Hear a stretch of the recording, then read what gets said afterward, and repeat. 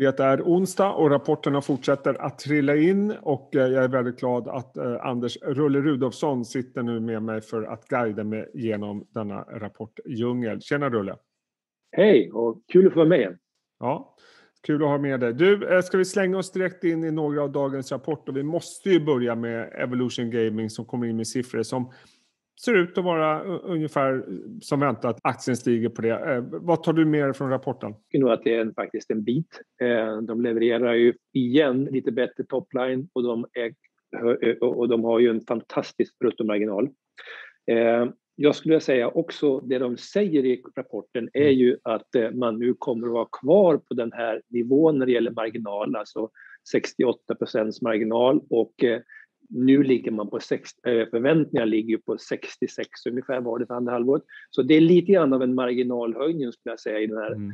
eh, rapporten, eh, vilket är positivt. Och de är ju fortsatt väldigt optimistiska eh, kring hur marknaden ser ut och man tycker heller inte att man har, är en sådär pandemiförlorare, om vi ska kalla det för det nu när pandemin liksom lite grann passerar senigt, utan det här fortsätter att se starkt ut. Det som kanske är mest intressant egentligen är väl just att Eh, skulle de fortsätta växa på den här nivån, som är 60 procent ungefär, eh, så är det det dubbla mot vad egentligen konsensus ligger med för nästa år.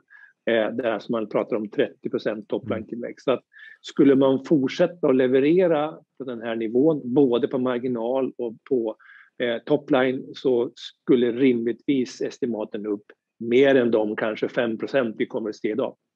För, alltså det här är ju ett bolag som har överraskat oss hela tiden eh, i stort sett. De har alltid levererat oerhört starka siffror. Mm. Eh, aktien har ju trendat ner lite grann här då inför rapporten och då är det några som menar att det här är ett relief rally men du menar att egentligen ska vi se det här som att estimaten såväl på marginal som tillväxt ska upp ja. på sikt efter den här rapporten? Det tycker jag. Jag, jag. jag har svårt att se liksom att inte... Sen är det alltid så mycket kan hända. Vi har ju haft ja. Tyskland som liksom har drabbats negativt. Med, med, äh, vi såg ju häromdagen att det var ett tyskt spelbolag som mm. vinstvarnade för utvecklingen där. Vi har ju också haft oron kring den här, typ Citron som är ute och mm. kör såna här negativa artiklar om den gråa marknaden och det, hur det växer i Asien på ett amerikanskt bolag, de här eh, draft, Draftkings, där man är så oro för att mycket av tillväxten kommer från gråa marknader. Ja. Och eh, vi vet ju att Evolution har en sån och då fick de en smäll också på det där. Ehm, så det ska man ha respekt för när man tittar in i den kursutveckling vi har haft. Men när man nu ser siffrorna så är de ju väldigt starka. Och skulle så sagt, skulle det vara så att man fortsätter att leverera mm. topline på den här nivån då ligger konsensus för lågt för 2022. Det är helt klart så. Ja, oerhört imponerande som vanligt får man väl ändå säga. Men Telia då, när jag tittar spontant mm. på siffrorna så såg det inte så illa ut. Eh, rapporten, eller aktien är ner på rapporten, varför det? Ja, det är nog flera som undrar över det. Eh, det är lite grann man fick tillbaks var att det kanske är low quality beat, det vill säga att det, mm. det som man egentligen eh, skulle, eh, egentligen inte skulle se förbättringar av kom in bättre än väntat. Då, då blev det kanske lite grann, och det här är mer min fundering, det är att både Tele2 och Telenor var ju upp 3, 4, 5 procent på sina rapporter. Så det fanns nog en högre förväntan nu när Telia kom med sina siffror. Så var det inte riktigt så bra kanske just på den delarna där man ville se förbättring. Så att, tycker väl egentligen, och sen har aktien gått väldigt starkt på mm. slutet. Det är ju många operatörer som har gått bra på slutet. Så att, ja, jag tycker inte att det är, det är 4,5 procent mer som det var när jag, innan jag satt med det här. Eh, det låter ju som en väldigt stor korrigering kan jag tycka. Okay. ja, Nej, för det, spontant så såg det helt okej okay ut tycker jag. Ja, eh, absolut. Ska vi gå över till eh, Nordea då? Banken har ju mm. Eh, skämt bort oss i det här kvartalet tycker jag i alla fall, mm. inte minst SE-banken. Eh, mm. Nordea ser ut att komma med en bra rapport även då. Ja, Nej, men det är en jättebra rapport får man mm. säga. Det är ju på alla nivåer är det bra. Och det, de, precis som alla andra banker, redovisar ju återläggning av kreditförluster, vilket är naturligtvis positivt, så det hjälper ju till. Mm. Men tittar man på varje rad och, och kanske framförallt på räntenetto så ser det fortsatt starkt ut. Och de har ju dessutom ansökt om att kunna få göra, börja göra återköp. Så att, eh, jag tycker nog ändå att det, det, är en stark rapport och bankerna fortsätter att leverera bra siffror. Sen är det ju alltid frågan om det som ändå över tid är ju det viktiga, det är ju vad räntenettot tar vägen. Och vi har ju fortfarande ganska så platt yieldkurva här. Så att eh, utmaningen för bankerna är fortfarande liksom hur, och framför oss på, på aktiemarknaden, när köper man bank? Liksom, mm. eh, för att tittar man på det så visst, det kommer ju komma tillbaka mycket pengar i utdelningar här eh, från och med Q4 kanske, mm. eller i alla fall in i 2022. Eh, det i sig kommer ju inte räcka liksom till någon tillväxt i aktierna utan det är mer att vi får en återbetalning. Men det är ju fortfarande så att topline-tillväxt behöver man ju visa, annars blir det ju ett problem ändå. Och, eh, eftersom man vill ju äga, äga aktier som växer och då blir ju kostnadsnivån den viktiga som mm. marknaden kommer fortsätta titta på. Så yieldkurvans utveckling här är fortsatt intressant om man ska äga bank. Men, bankerna har ju fått en liten revival här eh, i år eh, efter att ha gått trögt länge. Ska man fortsätta äga bank nu, tycker du ändå? För det är ändå fyra bra rapporter vi har. Bara. Vi har ju fått bra rapporter utomlands också, inte minst från USA. Ja. Där var mottagandet mm. lite svalare i och för sig. Mm.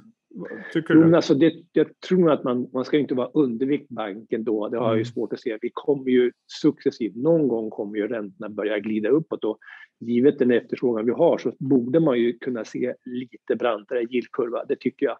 Eh, och som sagt, det kommer att komma tillbaks mycket pengar till, till eh, de som äger bank i utdelningar och återköp.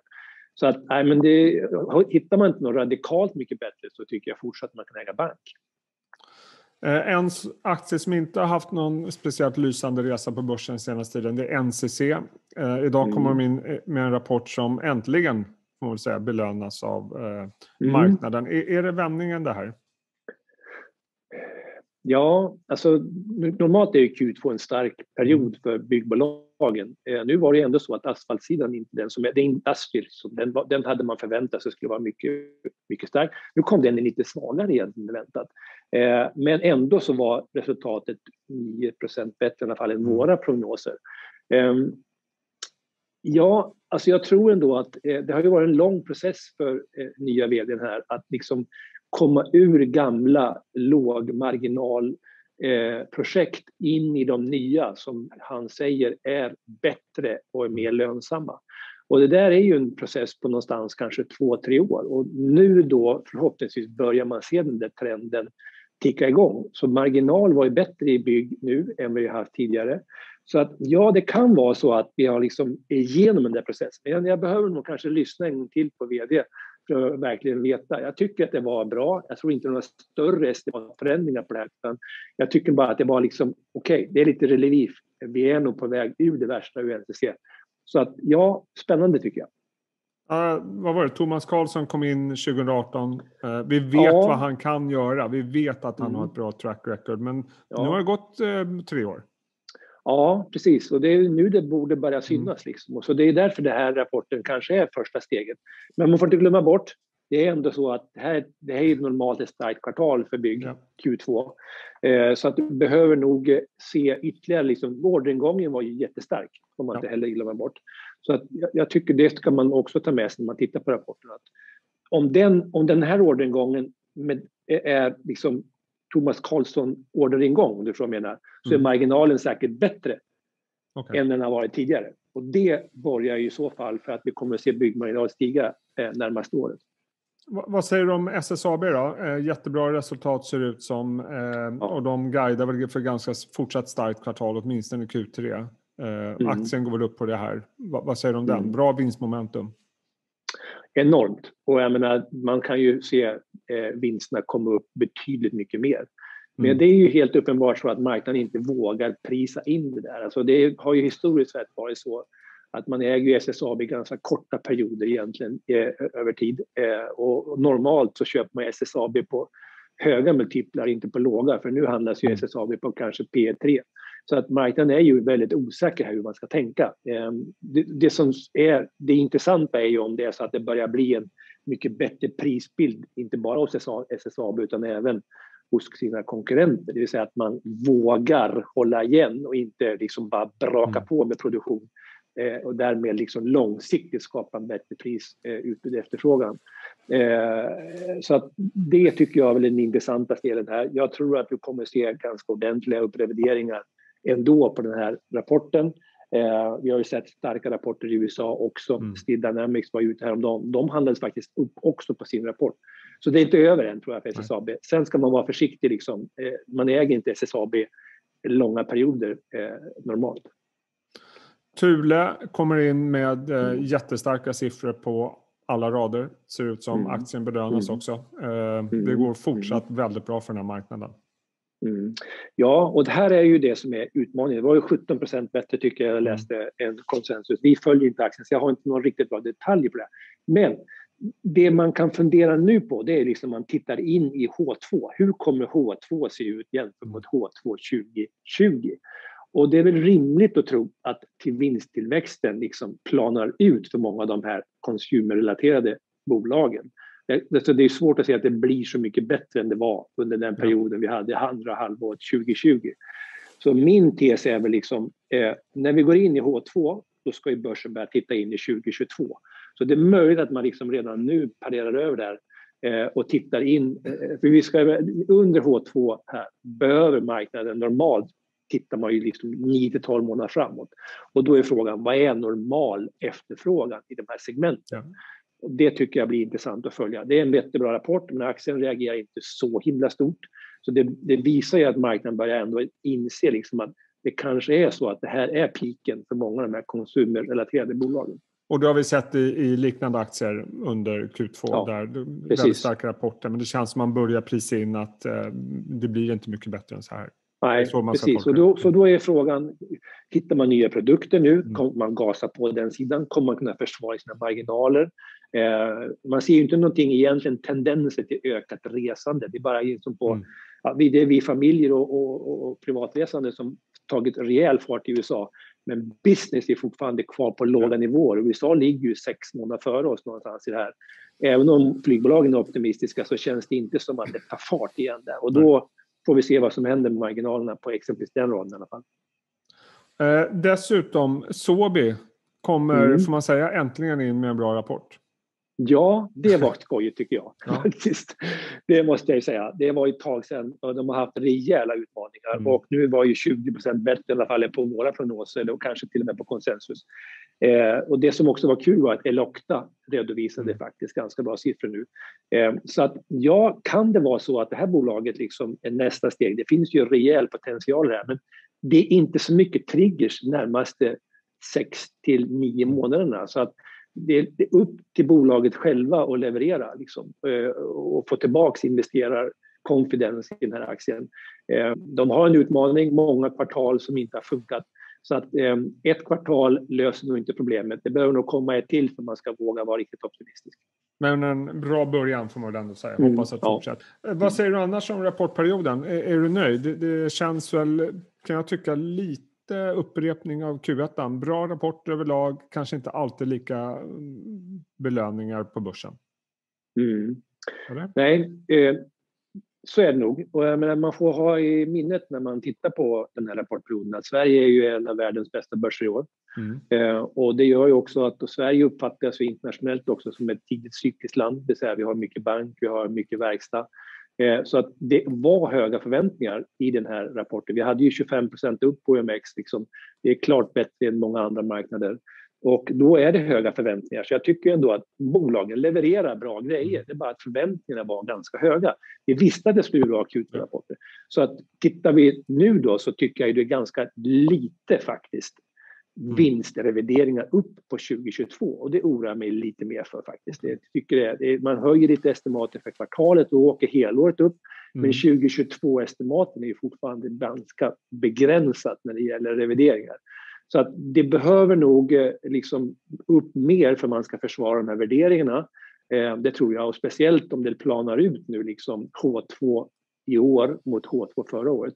Då kommer man behöva det. Så jag tror ju att vi har sett liksom, tittar du på det så har du haft, eh, vi såg eh, Volvo, vi såg Sandvik exempelvis, var med på rapport, deras Atlas, eller fått med Assa och Alfa var upp på sina rapporter. Och det är ju tydligt att man går lite grann från early cyclical till mid cycle här. Eh, så det är min tes, liksom att nu kanske man måste titta lite längre framåt och vara lite mer försiktig på de early cyclicals. Mm. Eh, och eh, kanske också börja leta nu efter aktier som kan klara av att hålla upp sina eh, eh, marginaler och priser i en miljö där faktiskt BNP-tillväxten kommer att komma ner under andra halvåret. PMI-siffror kommer att komma ner, det kan vi redan nu se. Så att, eh, jag tror att man ska äga aktier här där man, har, där man själv kan påverka marginal och priser. Ja, intressant. Och sen är frågan då börsmomentum. Eh, vad, vad, säger du om det? Vad, vad, ser du för signaler för börsen som ändå får sägas varit väldigt stark? Vi hade någon liten sättning häromdagen, men mm. annars tuffare på. Ja, det är intressant. Eh, jag såg en grej som var lite kul faktiskt och det var att eh, vi är ju, årsstandarden på är nu uppe på nära, eh, väldigt mm. nära all time highs. Det har nästan aldrig hänt att P500, P500 är uppe på nya mm. highs och ändå ha 50 eh, av bolagen bara som ligger över 50 dagars. Eh, så att det har hänt tre gånger sedan typ 1927. Samtidigt har vi nära highs och vi har exempelvis eh, Fear and Greed Index nere på 16-17 någonstans, vilket är jättelågt. Det borde ligga mycket högre, det borde ligga över 60-70 mm. kanske man har de här nivåerna. Eh, och eh, det har lite annat, put call ratio exempelvis ligger jättehögt också och ändå är vi nära highs. Så jag tycker nog att den här korrigeringen, den, den är okej. Okay. Man ska inte, någon gång måste det komma lite vinsthemtagningar. Men det är ändå så att liksom, redan nu så är ju de så här, tekniska faktorerna med låga RSI-tal, ja. låg fear and greed index på sådana nivåer så att mycket väl skulle kunna se faktiskt ganska snabbt uppställ igen på 5, 7, 8, 10 procent. Men en, en eventuell mm, kortsiktig sättning är egentligen fullt naturligt i den här miljön? Det det ja, det tycker jag absolut. Och den har vi väl kanske redan sett. Det är det okay. jag menar. Liksom. Redan nu kanske vi redan haft den. Ja. ja, intressant. Eh, alltid lika uppfriskande att få prata med dig, Rulle. Eh, bra genomgång. Ha mm, en fortsatt härlig sommar. Du med. Ha det gott. Hörs.